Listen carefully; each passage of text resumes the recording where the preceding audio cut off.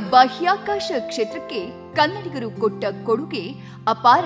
ಕಿರಣ್ ಕುಮಾರ್, ಇಸ್ರೋ ಸಂಸ್ಥೆಯ ಮಾಜಿ ಅಧ್ಯಕ್ಷರು. ಇಸ್ರೋ ಸಂಸ್ಥೆ ಏನೆಲ್ಲ ಸಾಧನೆಗಳನ್ನ ಮಾಡಿದೆಯೋ, ಆ ಎಲ್ಲ ಸಾಧನೆಗಳಲ್ಲೂ ಭಾಗಿಯಾದವರು ಕಿರಣ್ ಕುಮಾರ್. ಇಸ್ರೋ ಏನು ಆರ್ಥಿಕವಾಗಿ ಸ್ವಾವಲಂಬಿಯಾಗಬೇಕಿದೆ ಹೀಗಾಗಿ ವರ್ಷಕ್ಕೆ ಹತ್ತರಿಂದ ಹದಿನೈದು ಉಪಗ್ರಹಗಳನ್ನ ಕಳುಹಿಸುವುದಕ್ಕೆ ಯೋಚನೆ ಮಾಡುತ್ತಿದ್ದೇವೆ. ನಾವು ಅಂದುಕೊಂಡಿದ್ದು ಫಲ ನೀಡಿದರೆ ಮುಂದಿನ ದಿನಗಳಲ್ಲಿ ಮೀನುಗಾರರಿಗೆ ಸಮುದ್ರದಲ್ಲಿ ಮೀನಿನ ಪತ್ತೆಗಾಗಿ, ರೈತರಿಗೆ ಹವಾಮಾನ ವರದಿಗಾಗಿ, ಸೇನೆಗೆ ಅಗತ್ಯವಾದ ರೀತಿಯಲ್ಲಿ ಇಸ್ರೋ ಸಹಾಯ ಮಾಡಲಿದೆ.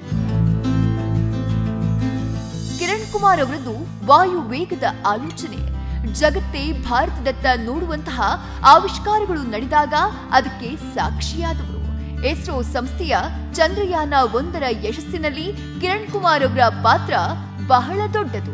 ಇಸ್ರೋ ಎರಡು ಸಾವಿರದ ಹದಿಮೂರು ನವೆಂಬರ್ ಐದರಂದು ಬಾಹ್ಯಾಕಾಶದಲ್ಲಿ ಆವರೆಗೂ ಯಾವ ದೇಶವೂ ಮಾಡದ ಸಾಧನೆಯನ್ನ ಮಾಡಿ ತೋರಿಸಿತು.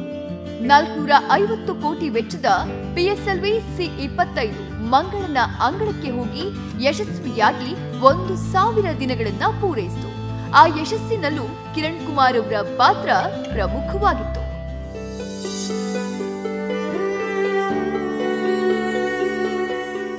ಕಿರಣ್ ಕುಮಾರ್ ಅವರಲ್ಲಿ ಅಂಥದ್ದೊಂದು ಇಚ್ಛಾಶಕ್ತಿ ಇದೆ. ಕಿರಣ್ ಕುಮಾರ್ ತಂದೆ ಲಾಯರ್ ಆಗಿದ್ದವರು. ಸಾವಿರದ ಒಂಬೈನೂರ ಐವತ್ತೆರಡು ಅಕ್ಟೋಬರ್ ಇಪ್ಪತ್ತೆರಡರಂದು ಹಾಸನದಲ್ಲಿ ಜನಿಸಿದ ಕಿರಣ್ ಕುಮಾರ್ ಅವರ ಪೂರ್ಣ ಹೆಸರು ಆಲೂರು ಸೇಳಿನ್ ಕಿರಣ್ ಕುಮಾರ್. ಚಿಕ್ಕಂದಿನಿಂದಲೂ ಕಿರಣ್ ಕುಮಾರ್ ಅವರಿಗೆ ಅಂತರಿಕ್ಷ ವಿಷಯಗಳ ಬಗ್ಗೆ ಆಸಕ್ತಿ. ಮನೆಯ ರೂಮಿನಲ್ಲಿ ಅಣ್ಣನ ಜೊತೆ ಸೇರ್ಕೊಂಡು ಅಂತರಿಕ್ಷದ ಪ್ರಯೋಗಗಳನ್ನ ಮಾಡ್ತಿದ್ರು. ಸಾವಿರದ ಒಂಬೈನೂರ ಅರವತ್ತೊಂಬತ್ತು ಜುಲೈ ಇಪ್ಪತ್ತರಂದು ನೀಲ್ ಆಮ್ಸ್ಟ್ರಾಂಗ್ ಚಂದ್ರನ ಮೇಲೆ ಕಾಲಿಟ್ಟಾಗ ಅವರ ಆಸೆ ಏನಷ್ಟು ಚಿಗುರೊಡೆದಿತ್ತು. ಆಗಿನ್ನೂ ಕಿರಣ್ ಕುಮಾರ್ ಓರ್ವ ವಿದ್ಯಾರ್ಥಿ. ಶಿಕ್ಷಣ ತಜ್ಞ ಪ್ರೊಫೆಸರ್ ಎಚ್ ನರಸಿಂಹಯ್ಯನವರ ಶಿಷ್ಯರಾಗಿ. ಸಾವಿರದ ಒಂಬೈನೂರ ಎಪ್ಪತ್ತೊಂದರಲ್ಲಿ ನ್ಯಾಷನಲ್ ಕಾಲೇಜಿನಲ್ಲಿ ಬಿಎಸ್ಸಿ ಪದವಿ ಮುಗಿಸ್ತಾರೆ. ಸಾವಿರದ ಒಂಬೈನೂರ ಎಪ್ಪತ್ಮೂರರಲ್ಲಿ ಬೆಂಗಳೂರು ವಿಶ್ವವಿದ್ಯಾನಿಲಯದಲ್ಲಿ ಎಲೆಕ್ಟ್ರಾನಿಕ್ ವಿಷಯದಲ್ಲಿ ಪದವಿ ಪಡೀತಾರೆ.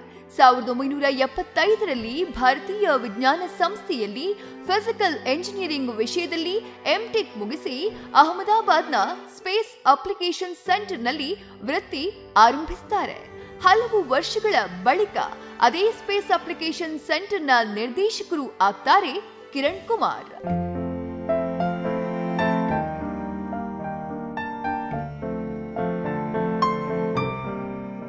ಅಲಿಯುವಾಗಲೇ ಹಲವು ಬಾಹ್ಯಾಕಾಶ ಯೋಜನೆಗಳಲ್ಲಿ ತೊಡಗಿಸಿಕೊಂಡಿದ್ದ ಕಿರಣ್ ಕುಮಾರ್, ಭಾಸ್ಕರ ಉಪಗ್ರಹ ಉಡಾವಣಾ ಸಂದರ್ಭದಲ್ಲಿ ತಮ್ಮದೇ ಆಲೋಚನೆಗಳನ್ನ ನೀಡಿದ್ರು.